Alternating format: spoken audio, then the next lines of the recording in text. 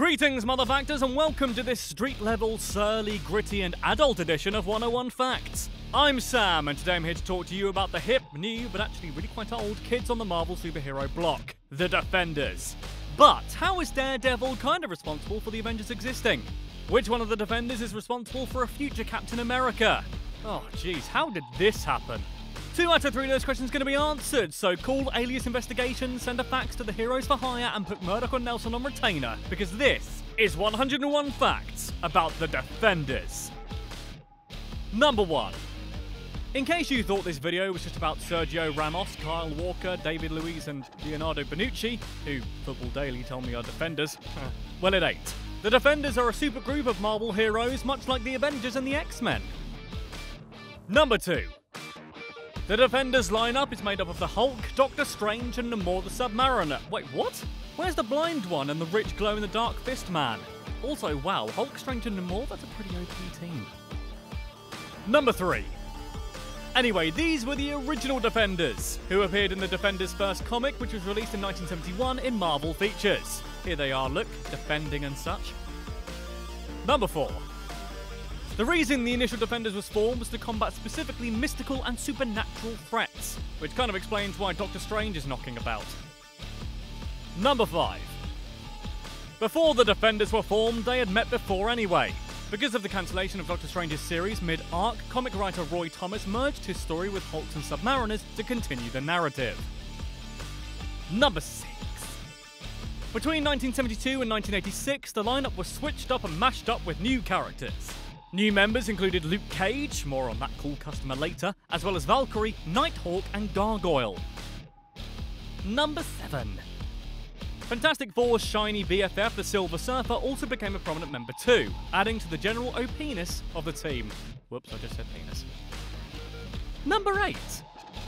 Although Jessica Jones will appear as part of the supergroup in the Netflix series, Jones was not a member in the comics at all. The token female member role was instead fulfilled by Valkyrie. Number 9. Captain America, the Guardians of the Galaxy, and even Howard the Duck have all been a part of the Defenders at one point. Seriously, their membership changes as often as the Avengers, or Jennifer Lawrence changes her address and phone number, which is annoyingly often. Number 10. Doctor Strange has even formed the Secret Defenders after the originals disbanded. In the Secret Defenders, different heroes were hired for different missions, like a big superpower Swiss toolkit. Number 11! But no, the reason you clicked on this video was probably because of the new Defenders that have their very own shiny TV show over on Netflix.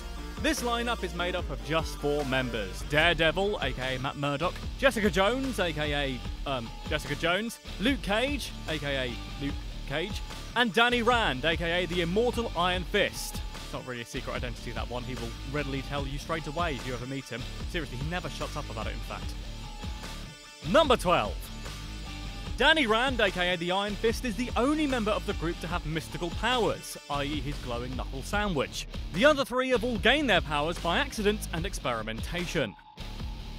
Number 13.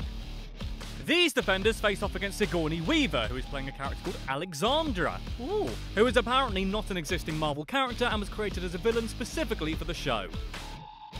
Number 14.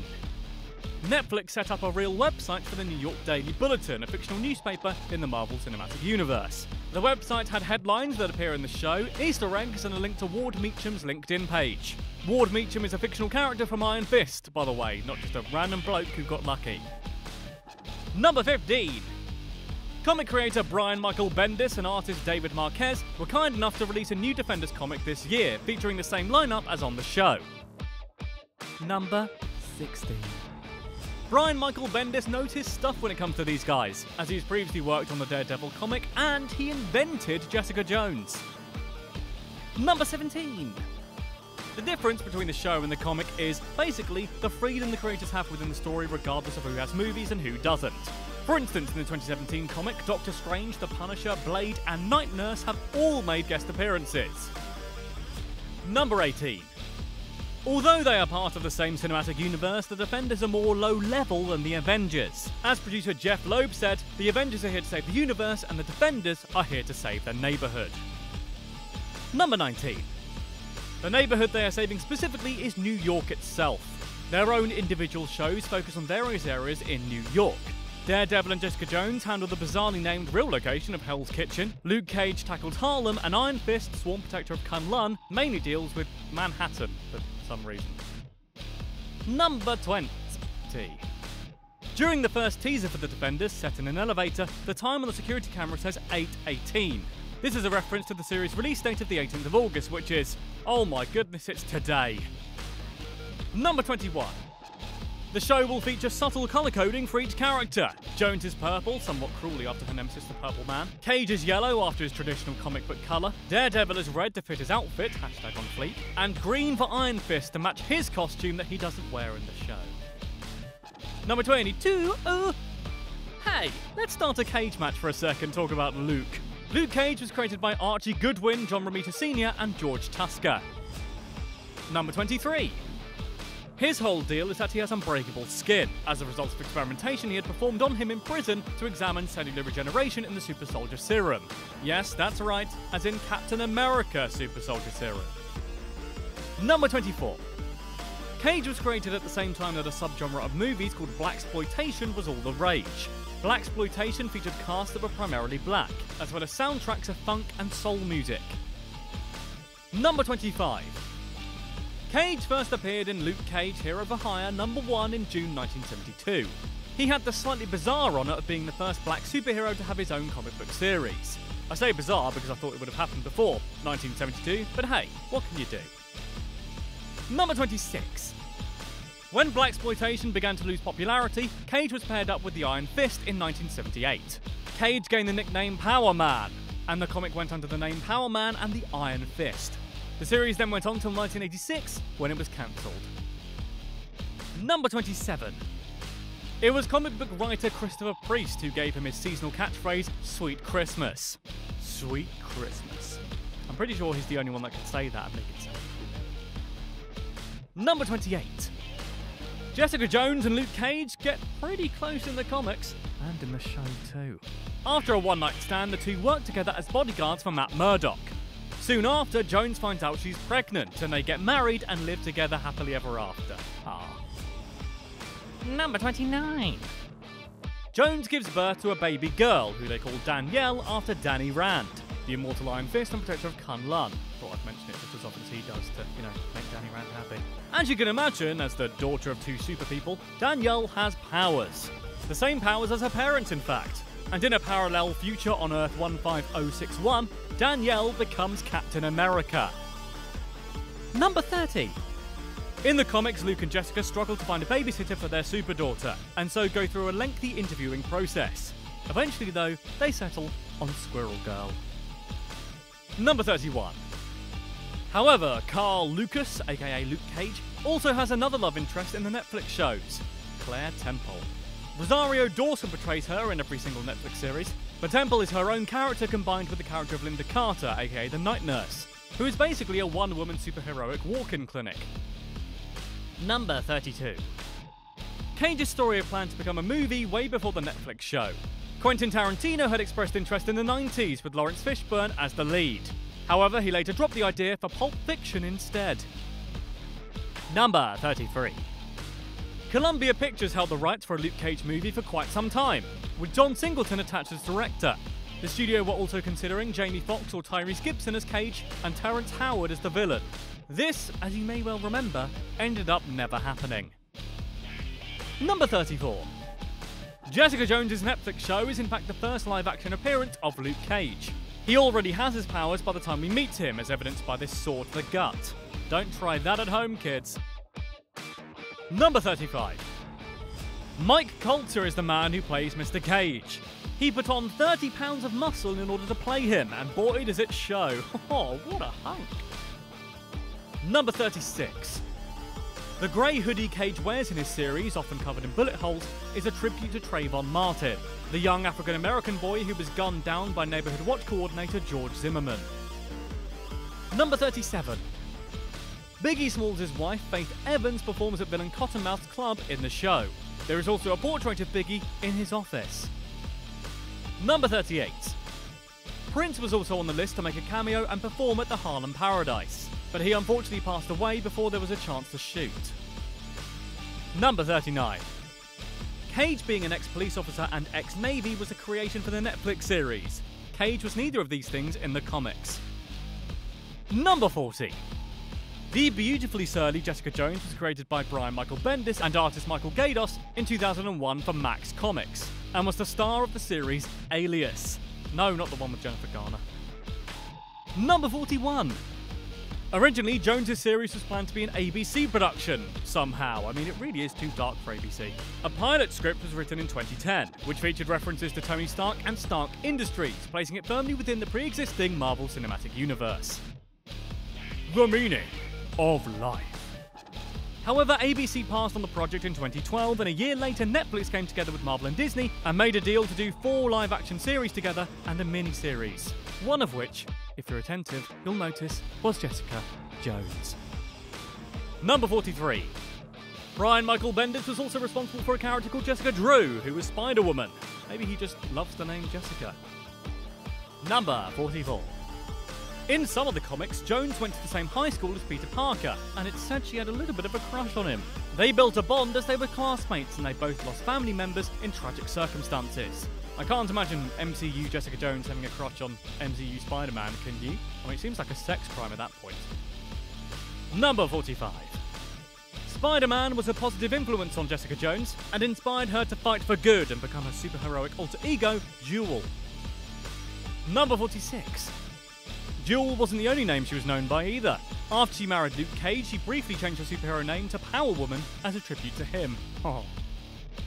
Number 47. Yes, in her early Jewel days, she wore a skin tight suit with bright pink hair. Something that Jessica in the Netflix series feels is kind of ridiculous. She's played wonderfully by Krysten Ritter, by the way. Number 48. Jones briefly worked at the Daily Bugle as a vigilante analyst, which is a bizarre job title I didn't even know was real. She was on the trail of the true identity of Spidey, but actually found out that Norman Osborn was the Green Goblin along the way instead. Number 49. In the early stages of bringing Jessica Jones to TV, it was planned that Carol Danvers was going to be Jones's close friend. However, she was replaced by Trish Walker instead. Carol Danvers, by the way, is also known as Captain Marvel, and she's going to get her own Marvel Cinematic Universe film played by Brie Larson in 2019. Number 50. In the show, blonde Trish Walker is reminded of her former red hair. This is a reference to her superhero persona, Hellcat, who had red hair. Number 51. Ritter put on 10 pounds of muscle and trained for two months before filming started. And you can see it, I mean, look at her, she's pumped. Number 52. The reason that she pumped up is because of Jessica's powers, which include super strength and flight, although in the show her flight is described as jumping really high, and we don't really see it all that often.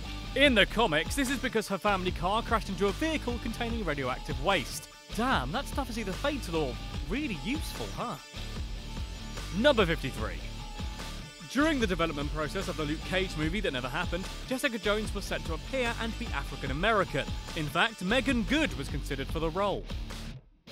Number 54. The figure that eternally haunts Jessica Jones, Kilgrave, otherwise known as the Purple Man, actually started out as a villain of Daredevil's and first appeared in Daredevil number 4 in 1964. Number 55. Eve. Purple Man has the ability to literally command people to do whatever he pleases. He, of course, uses this power for evil.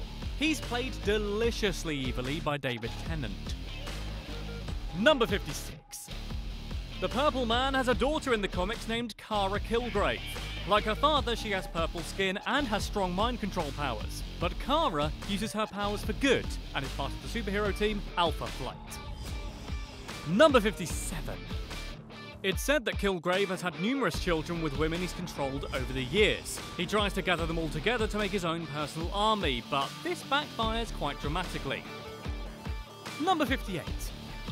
Kilgrave was somehow once kidnapped by Doctor Doom in the comics and was forced to use his mind powers to help Doom enslave the whole world. Luckily, this backfired. Whew, close one. Number 59. David Tennant's Purple Man was inspired by Brian Michael Bendis' interpretation in the Alias comics, except he's not quite as literally purple. He wears a lot of purple. In fact, I like his suit. I kind of want it in a way. Number 60. The same comic is the loose inspiration for the Netflix series. Previously a superhero named Jewel, Jones is a private investigator who is a struggling alcoholic even before Kilgrave came in and controlled her life. Number 61. Kilgrave's mind control power comes from pheromones, and so some people can resist it, even though it's pretty difficult. Daredevil apparently can, out of sheer willpower, but robots and androids like Vision, who don't have a sense of smell, are also able to. Number 62. The Netflix show holds strong themes of consent, rape, and abusive relationships more than any other superhero TV property. In fact, Jessica Jones was praised very heavily for its portrayal of these issues. Number 63. Next up is the man without fear himself, the Stevie Wonder of crime fighting, Daredevil, aka Matt Murdock, avocado at law. Nintendo 64. Daredevil first appeared, unsurprisingly, in Daredevil number 1 all the way back in 1964. Number 65. Matt Murdock was blinded as a young boy by toxic chemicals, yep, those things again, which then also gave him heightened awareness and super senses. He was then trained to a near peak human condition, and in a little bit of a ninja style, by another blind man named Stick. Number 66. When there was a struggle in the comic book industry in the 90s, DC and Marvel came together for crossovers. One of these crossovers was the Amalgam Universe, where mashups of characters existed in their own right. Daredevil and DC character Deathstroke were combined together, becoming Slade Murdock, a blind mercenary who wears horns. Honey, honey, honey. Also, she's a lady. Forgot to mention. Number 67. The Teenage Mutant Ninja Turtles creators Kevin Eastman and Peter Laird stated that Daredevil was a direct influence for the Turtles. Not sure how happy about that Murdock would be in real life, if I'm honest, but good to know. Number 68. In fact, the Turtles' enemies, the Foot Clan, was inspired by the Hand, a clan of ninjas who tend to make Murdock's life very difficult indeed. And also, Iron Fist apparently can't stop going on about them either. Number 69. Sweet Christmas. In the 1960s comic, Matt Murdock pretended that he had a twin brother called Mike in order to protect his secret identity. My god, Matt, you truly are a genius. Number 70. Remember the great 2003 Daredevil movie? No, me neither. But Ben Affleck actually auditioned to play Bullseye and Colin Farrell was considered for the leading role, but it ended up vice versa. Number 71. In the 60s, Daredevil had a predominantly yellow and red costume with a single D on the front. However, this was dropped by issue number 7. Maybe because, you know, it looks kind of stupid. I mean, it looks like it was designed by a blind. oh. Number 72. Matt is not exactly very lucky in love in the comics, as many of them have met unfortunate ends. Karen Page contracted AIDS and was murdered, Glorianna O'Breen was murdered, and so was Elektra, and Milla Donovan was driven insane by Mr. Fear. So stay away from Matt if he asks you out on a date, okay? Number 73.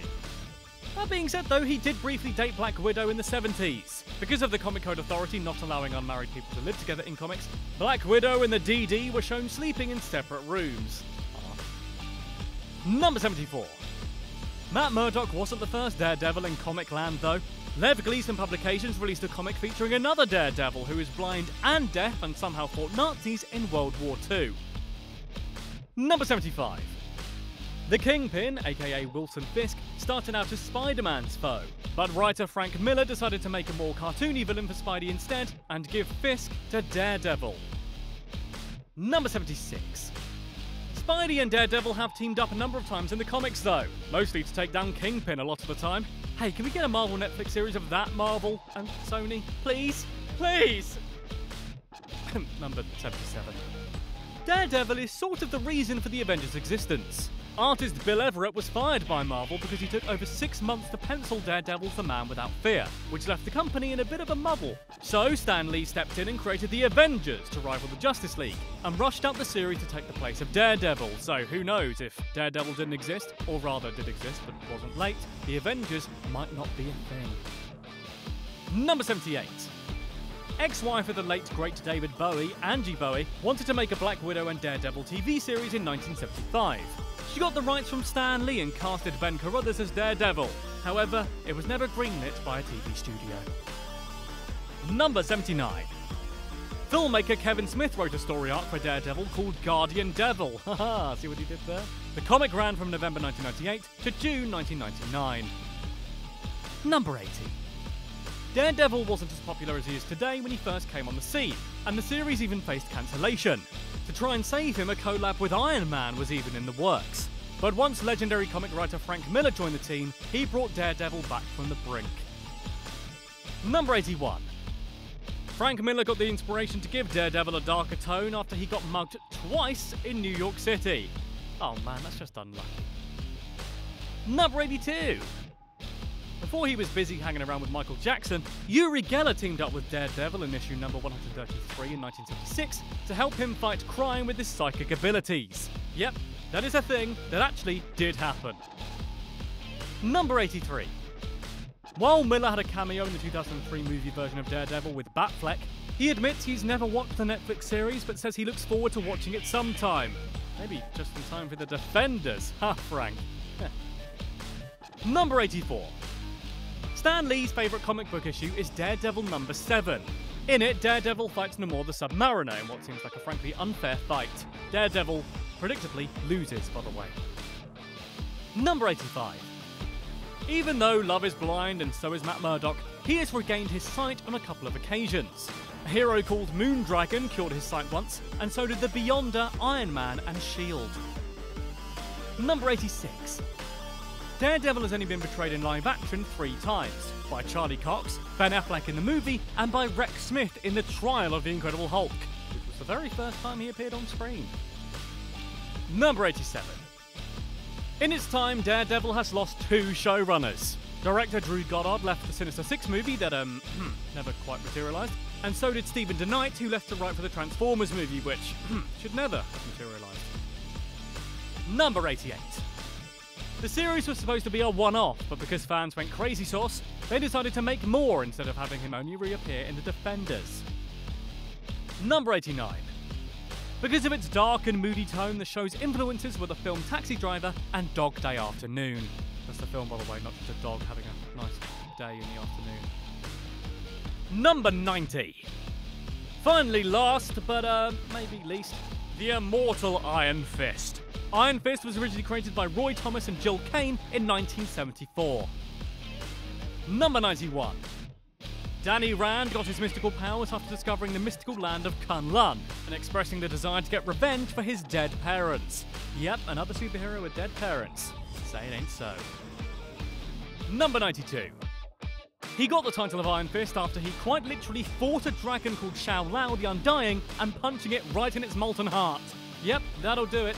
Iron Fist is quite cool, really? Punching a dragon. Take that, Khaleesi. Number 93. The Iron Fist has been part of many exclusive groups in his time. He's been a new Avenger, a Secret Avenger, and of course, a Defender. Number 94. He also filled in for Matt Murdock as Daredevil while he was in prison. However, this was without Murdock's permission, so he broke out of jail to confront him, and when he realised it was Danny, he asked him to continue so that he could track down Foggy's killer. Number 95. Even though Danny and Colleen Wing have a bit of a thing in the show, it's Rand and Misty Knight who are in a Randy romantic relationship after Rand hires Knight to help clear his name. Quick woo. Number 96. In fact, the couple were one of the first interracial kisses in comic book history in 1977. Although she was not in Iron Fist, Knight will be in The Defenders as she was in Luke Cage. Number 97. Luke Cage and Danny Rand used to team up as heroes for hire in their early days. However, the duo split up after Rand was assumed dead and Cage was blamed for the murder. Number 98. Kane got the idea for the name Iron Fist from the very first Kung Fu movie he watched, in which there was a scene with the ceremony of the Iron Fist. Number 99. In 2000, Marvel began plans to make an Iron Fist film. Writers were hired in 2001, and Kirk Wong was signed to direct. Number 100. However, Wong left in 2002, and so the film was pushed to late 2003. The film was then pushed to 2008, aka never, because Marvel instead wanted to focus on their cinematic universe plans. Something tells me they'll go well. Number 101! In 2013, Disney CEO Bob Iger said that even though Netflix characters probably won't get their own movies, if the Iron Fist is popular, he may get a feature length film. Hmm, yeah. Unlikely that's going to happen anytime soon, I'm afraid. Sorry, Finn Jones, it's not your fault, mate. I blame Scott Buck. He ruined Dexter too. Oh, I love Dexter so much. Another way. Anyway, and more time.